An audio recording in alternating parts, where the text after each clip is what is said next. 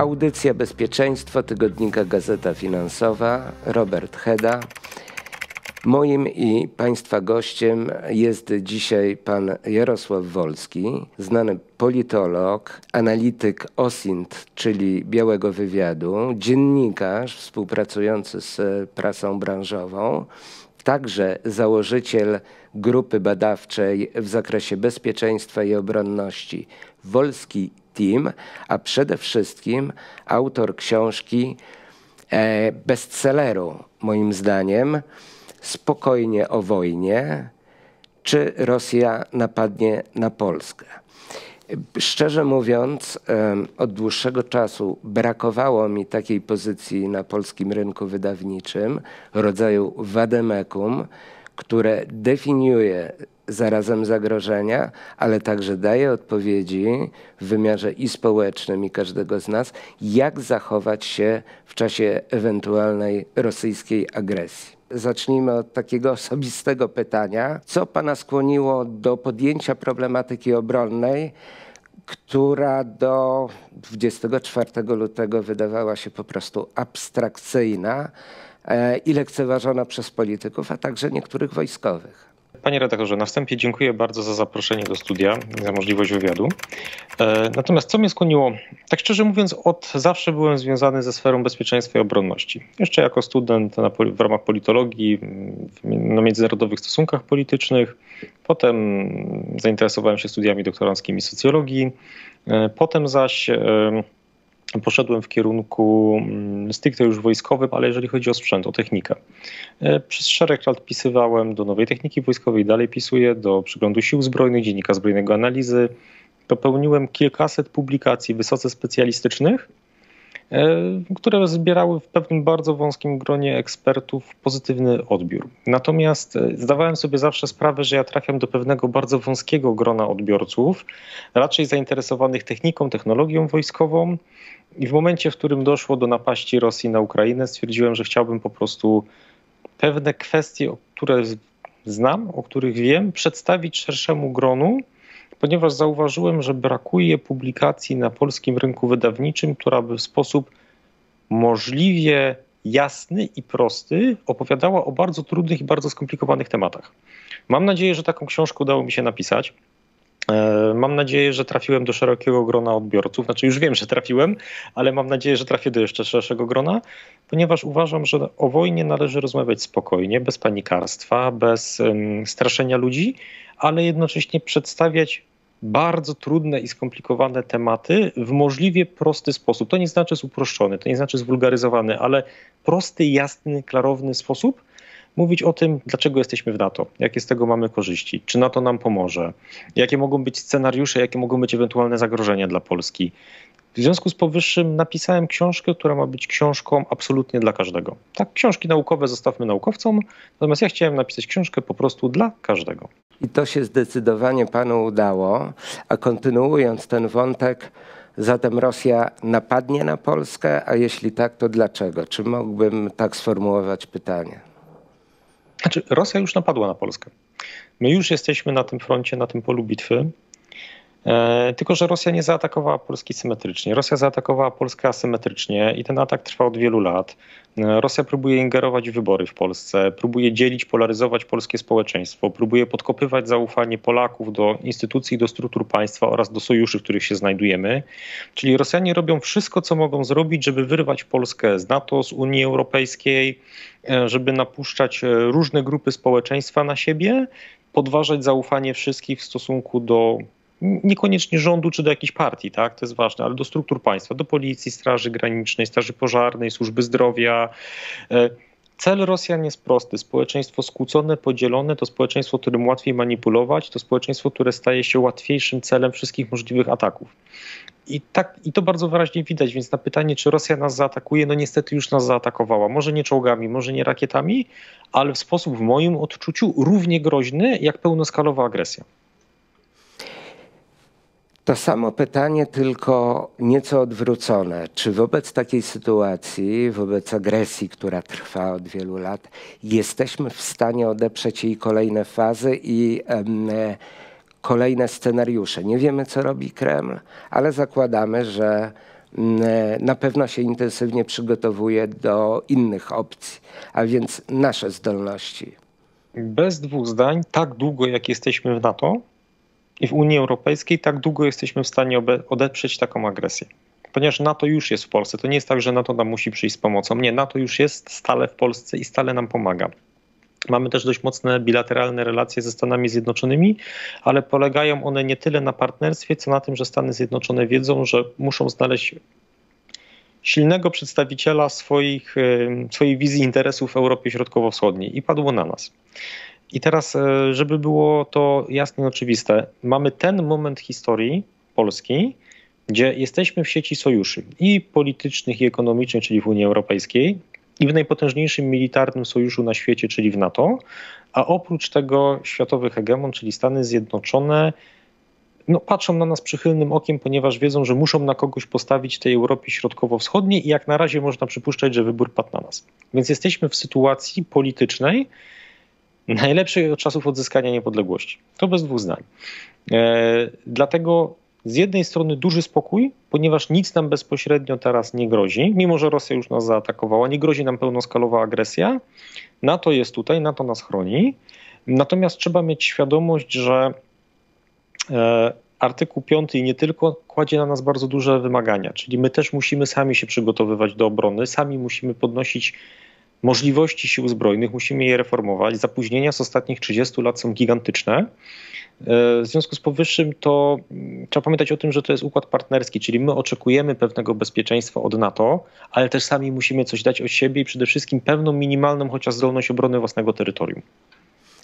No w takim razie porozmawiajmy przez chwilę o tych kosztach. Lockdown, mm, kryzys energetyczny wywołany przez Rosję e, gigantyczne zbrojenia, czyli nadrabianie opóźnień, o których Pan mówił.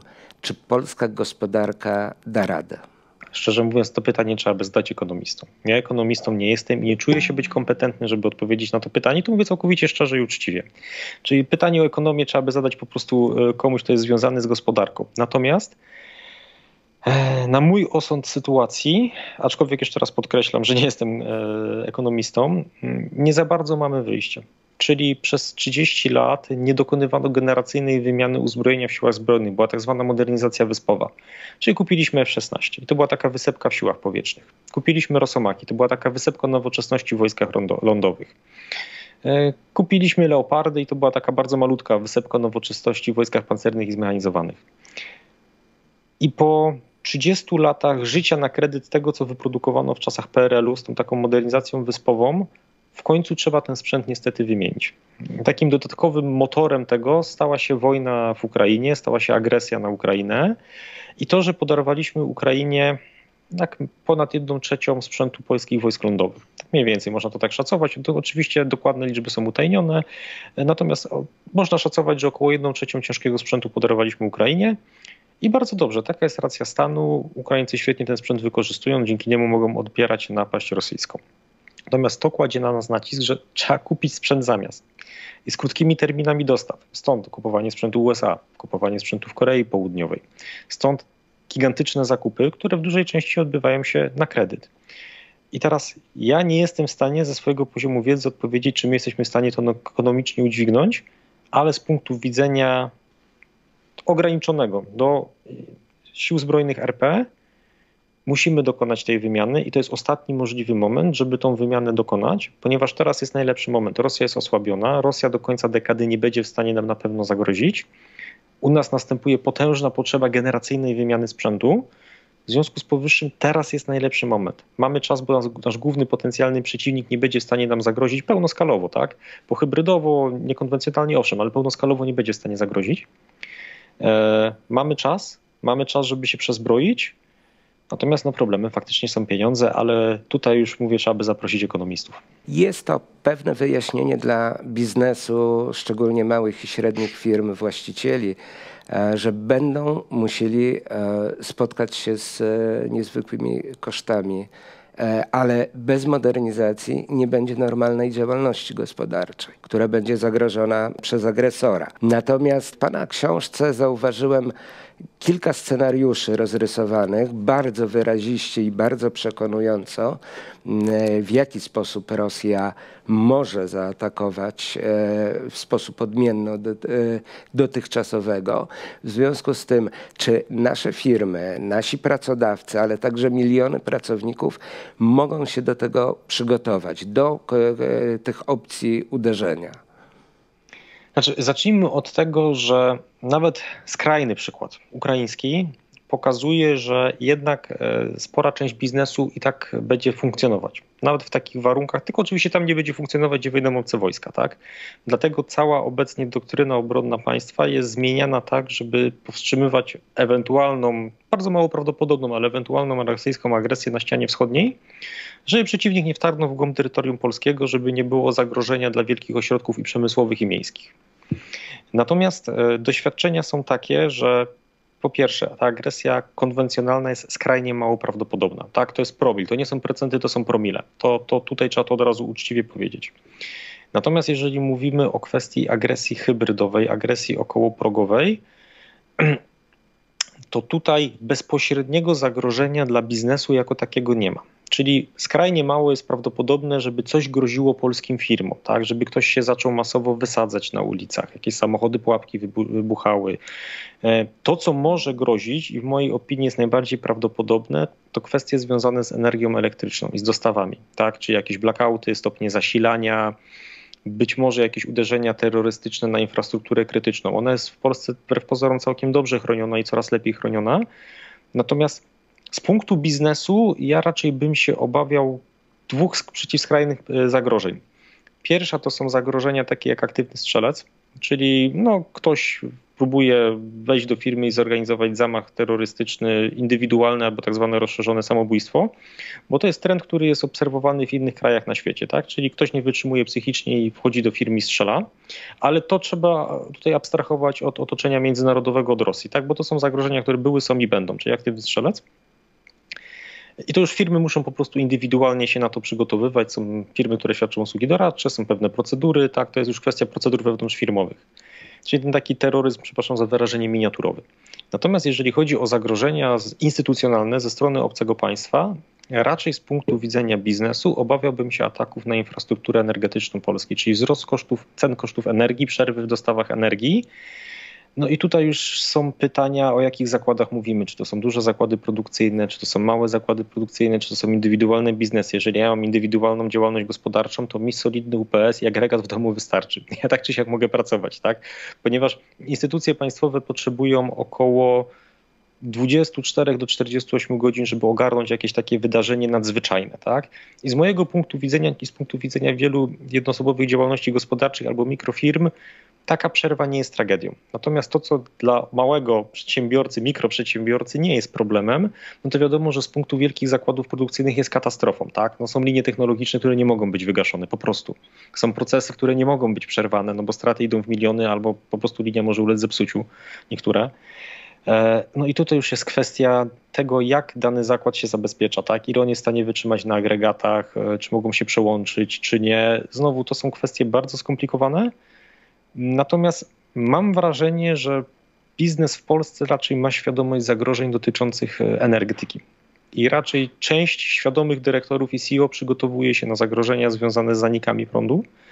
E, I tutaj bym upatrywał tego głównego zagrożenia i prosiłbym, żeby widzowie kanału, w tym pewnie wielu przedsiębiorców, którzy będą nas słuchać, nie przejmowali się kwestiami rakiet rosyjskich, kwestiami czołgów. To nie jest zagrożenie, proszę mi wierzyć. To jest promil, procenty, tym się zajmują siły zbrojne RP, na razie bezpośrednio nic nam nie grozi. Natomiast to, o czym trzeba myśleć, to trzeba niestety myśleć o kwestiach związanych z energetyką i na przykład z czasową bezwładnością struktur państwa, czyli na przykład z wyłączeniem pewnych systemów informatycznych, z czasowym zaburzeniem systemów bankowości, rozliczeń z ZUS-em na przykład dla pracowników, e, z taką pewną niewydolnością e-usług, która może nastąpić.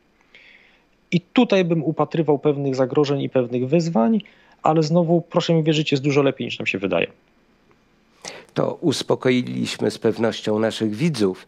E, jednak kontynuując ten wątek, Czy widzi Pan potrzebę, dostrzega Pan potrzebę powołania jakiejś rady koordynującej działania biznesu, niezależnie od wielkości kwestii własnościowych, która przygotowywałaby polską gospodarkę w sposób kompleksowy, oczywiście w jak najgłębszej współpracy z państwem? Tego typu pomysły zawsze są pozytywne.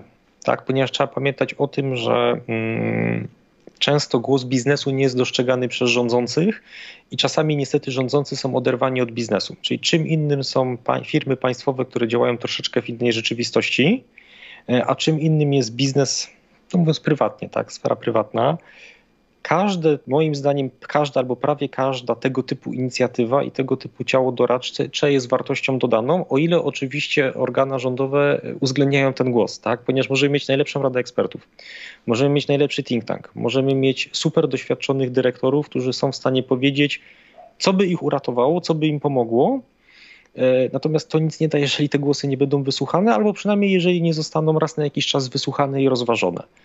Ja osobiście optuję za tym, że powinno istnieć takie partnerstwo publiczno-prywatne, też w tym sferze. Powinny istnieć think tanki, które będą w jakiś sposób włączane, e, albo inaczej ich głos będzie dostrzegany i rozważany.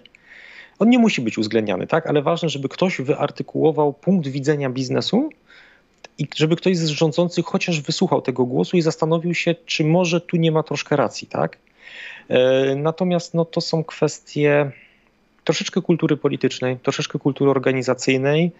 E, trzeba pamiętać o tym, że my w ciągu 30 lat nie nadrobimy e, pustyni, która była wcześniej. Tak? My się dopiero uczymy pewnych mechanizmów, uczymy się demokracji, uczymy się uwzględniania głosu biznesu e, i tego dużego, i tego małego, ponieważ głos tego wielkiego biznesu jest w pewnym sensie słyszalny. Tak? Natomiast dobrze by było, gdyby też te słynne misie miały wyraźnie słyszany i wyartykułowany głos, który słuchują się, słuchują się rządzący. Tak? No bo jasne, że wielkie sieci zatrudniają tysiące pracowników, ale też tysiące małych e, firm utrzymuje miliony gospodarstw domowych. Tak? I to jest też moim zdaniem ciekawa sprawa, e, która trochę zahacza o kulturę polityczną w Polsce, o styl zarządzania państwem. No i mam nadzieję, że ta partycypacja, zwłaszcza małych i średnich przedsiębiorstw, będzie rosnąć i że będzie ten głos coraz bardziej słyszany i przede wszystkim wysłuchiwany przez rządzących. Pytanie Arebura. Mottem pańskiej książki jest zachowanie spokoju, nieuleganie panice. Jak przygotować społeczeństwo w takim razie do wyzwań, ale jednocześnie nie wystraszyć?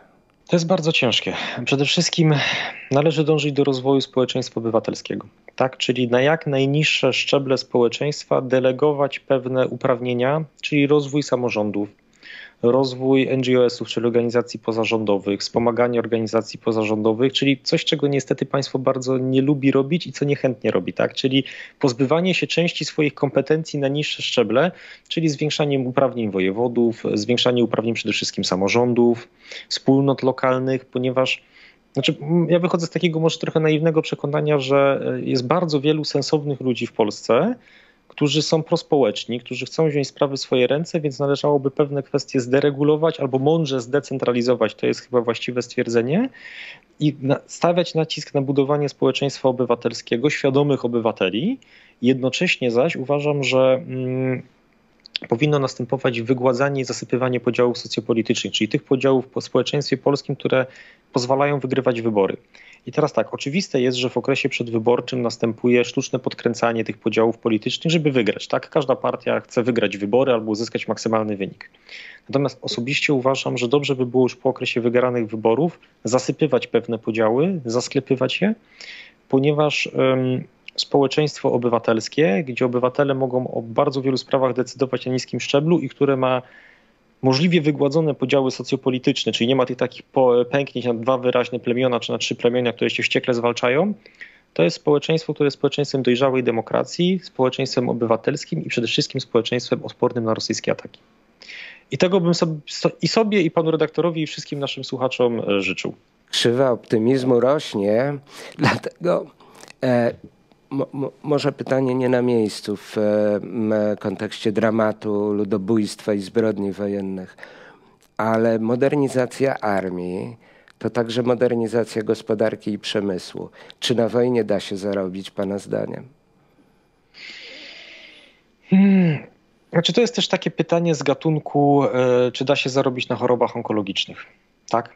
Ktoś choroby onkologiczne leczy, ktoś choroby onkologiczne operuje, ktoś sprzedaje sprzęt do leczenia chorób onkologicznych i na tym zarabia, tak? ponieważ musi mieć pieniądze, żeby zapłacić pracownikom, żeby opracować coraz lepszy sprzęt służący do leczenia chorób onkologicznych. Więc tak, oczywiście tu jest kwestia pieniędzy, jest kwestia zarabiania na czymś, tylko trzeba pamiętać o tym, że niestety niekiedy trzeba prowadzić biznesy w pewnych sferach życia ludzkiego, w tym takich jak wojna, e, ponieważ finalnie brak prowadzenia tych biznesów jest gorszy niż prowadzenie biznesu w tych sferach. Tak?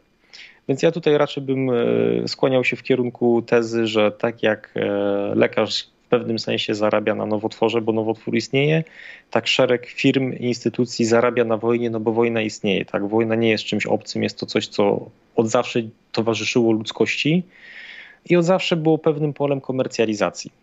Różnej, i państwowej, i prywatnej, i instytucjonalnej, więc to po prostu było, jest i będzie. Dziękuję panu za rozmowę, dziękuję państwu. Naszym gościem był mm, pan Jarosław Wolski. Ja pozwolę sobie jeszcze pokazać e, pańską książkę e, z nadzieją, że na pytania, których nie zadaliśmy i na które nie odpowiedzieliśmy, znajdą Państwo odpowiedzi w pozycji pana Jarosława Wolskiego. Jeszcze raz dziękuję. Do widzenia. Dziękuję bardzo panie redaktorze, dziękuję Państwu. Do widzenia.